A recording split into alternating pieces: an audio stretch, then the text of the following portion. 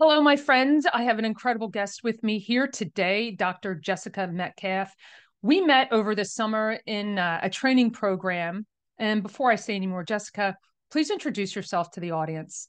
Uh, first off, thank you so much for having me. I am so looking forward to our conversation. So, I am a strategic leadership and workplace culture consultant, and that allows me to step in and work with entrepreneurs, business leaders, C suites to be able to navigate their introspection on developing their leadership skills, as well at the same time while they get to improve their team's culture within the mm. business.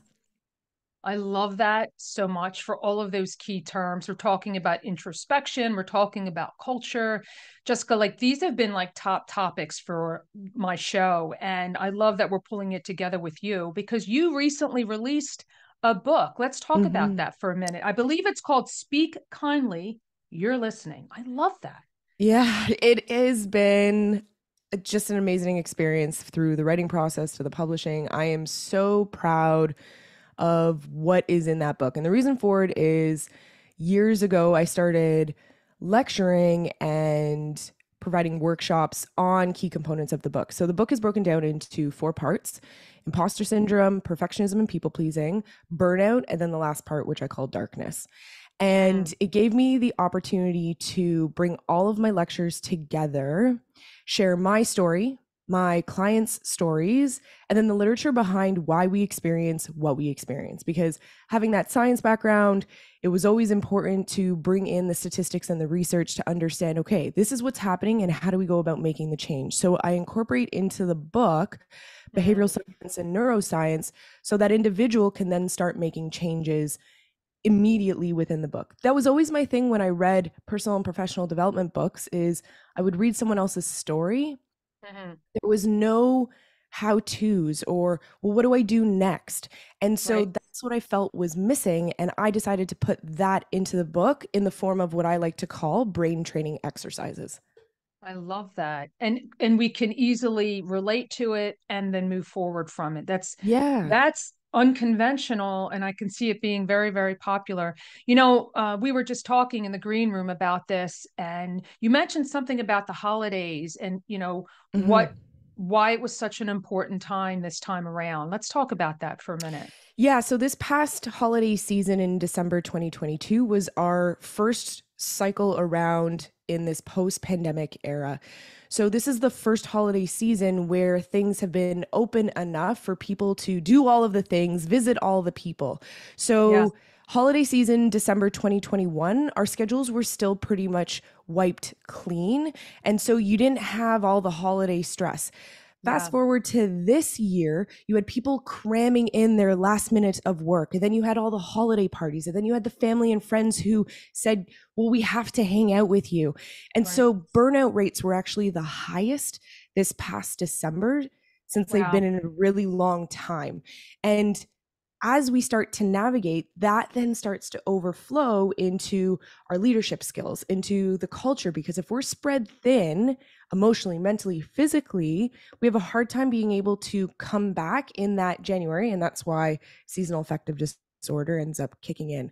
And so right. we really have to give ourselves the opportunity to be able to say no to certain things and implement those boundaries, whether it is friends, family, and even right. work parties.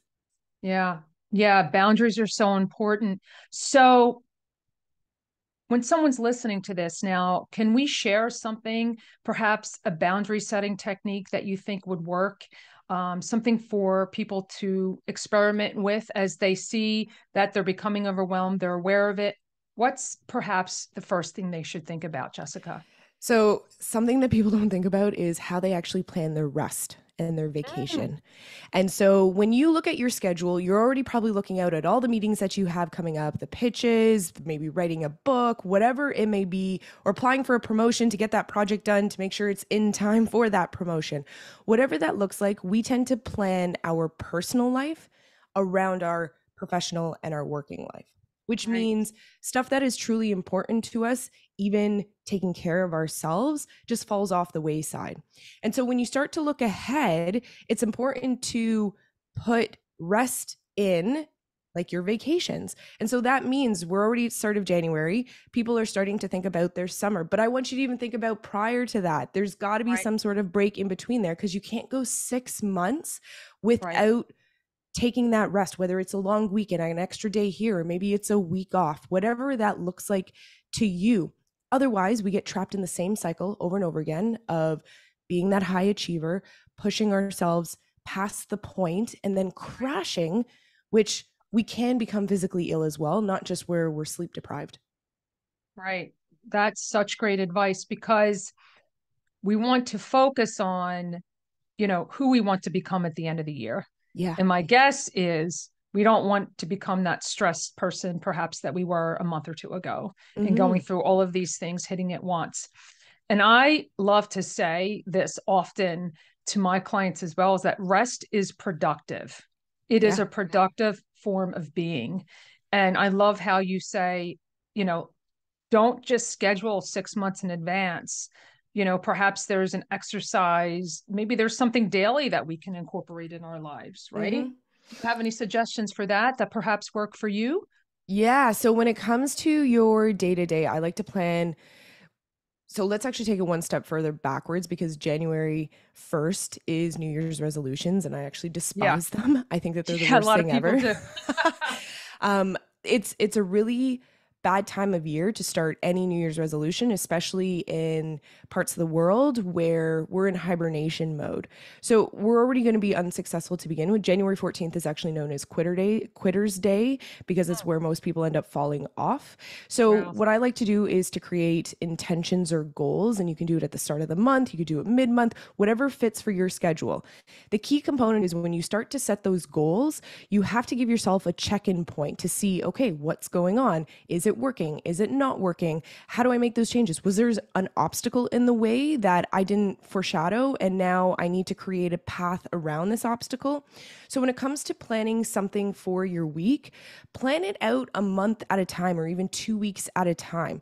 So let's say cuz January 1st is always around something health related with our body right. so let's let's step into that for for a hot second so when it comes to let's say taking care of yourself physically don't underestimate what a walk can do for you as well. It doesn't have to be that massive HIIT training, body lifting, whatever, or weightlifting that you're going in that you then fall off a week later. No, no. Right. We're going to incorporate, okay, so your schedule is busy to begin with. Let's fit you in first and then plan business meetings around it. So, for example, for me, my month of January is yoga. I need something that's a little bit slower for my body. January is just one of those times where I fully go into hibernation mode. I usually get up at between 4.30 and 5 o'clock but in the winter months because the sun's not out i give myself yes. a leniency to say don't get i don't i don't need to get up until 7 so it's totally fine right.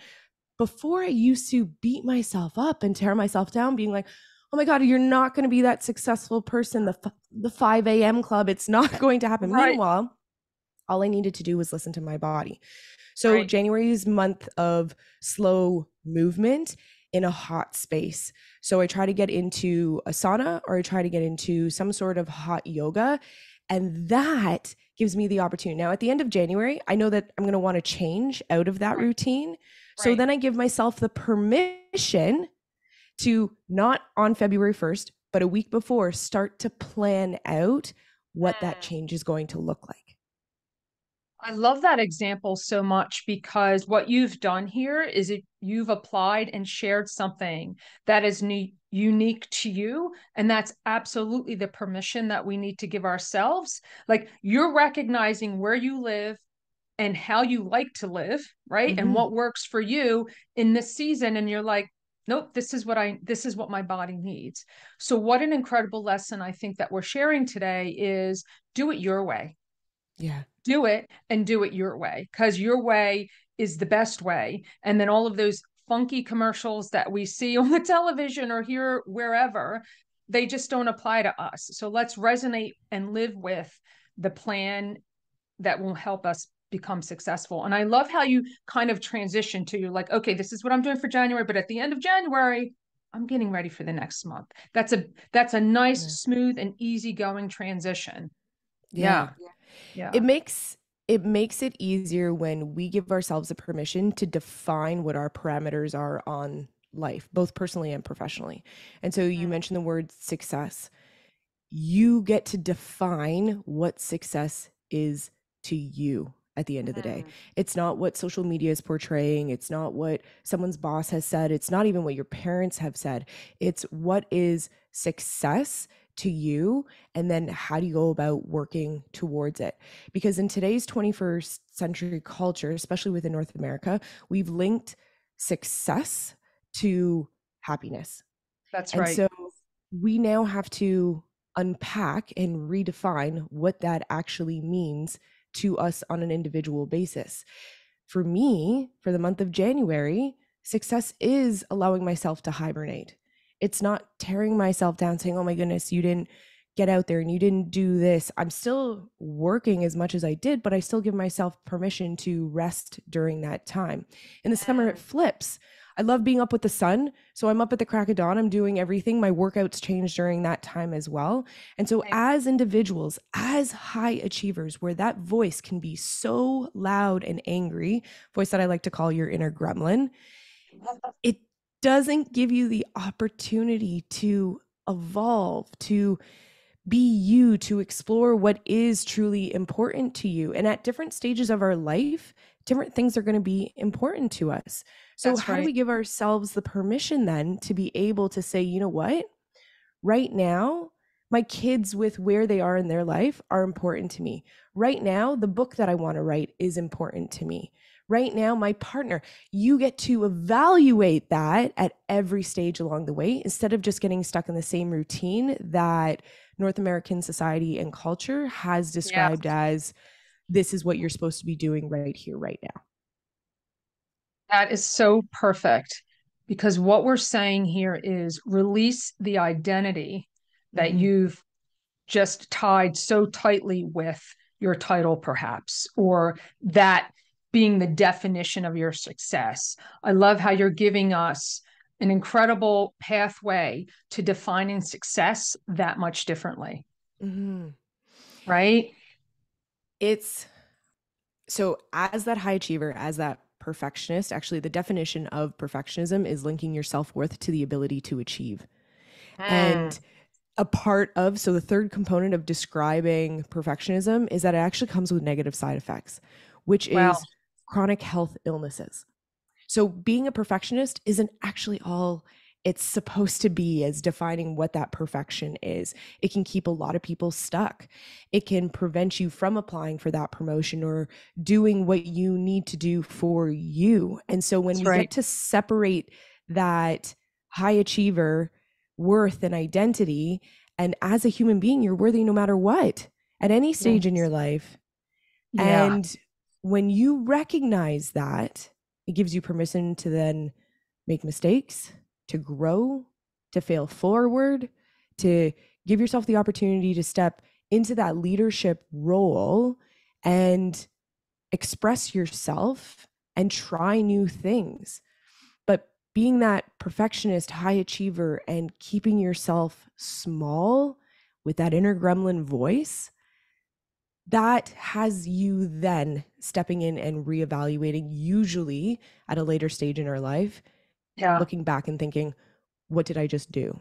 Right. So instead of balling that all up and waiting until it's decades later, you get to unpack that now and develop yourself and ask yourself some of those hard questions that we don't like to ask. When leaders come to me, a lot of them tend to say, Well, I want to be less stressed and more mm. happy. And I'm like, right. great. So let's talk about your definition of happy. What is happiness? And leaders will say, well, it's being less stressed. I'm like, but what does that mean? If we if we don't define it, same thing right. like success. If we don't define what that actually means, how can you work towards it? Right. Right. So it's that redefinition of success. That is so brilliant. So incredibly brilliant, my friend. So I have so many incredible takeaways from this episode. But one of the questions that I love to ask all of my guests in all of this work that you get to do, Jessica, do you have a favorite piece of clothing or accessory? And how does it make you feel? Oh, I do have. They are hoops of all sizes. They're my gold hoops that I just absolutely sure. love. Um, so it is a thing from. So my family is Italian. My nonna is um, an immigrant from Italy, and my mom's first generation. And it has always been just what the women in my family wear. And I was so against it for so long because it wasn't a cool thing as like a teenager growing up. Yeah. And finally, my own expression and me stepping into it, I'm like, this is me. So it's my gold hoops for me.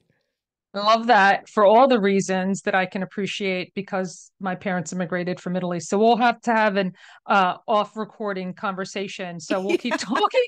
But in the meantime, I love your work. Um, I, I will reference your book in the show notes. And if someone wanted to reach out to you, Jessica, and talk with you a little bit more, where's mm-hmm. the best place for them to find you? Yeah, they can find me on LinkedIn under Dr. Jessica Metcalfe, or they can check out my website, www.drjessicametcalf.com. Excellent. So I will include both of those links in the show notes to make it nice and easy.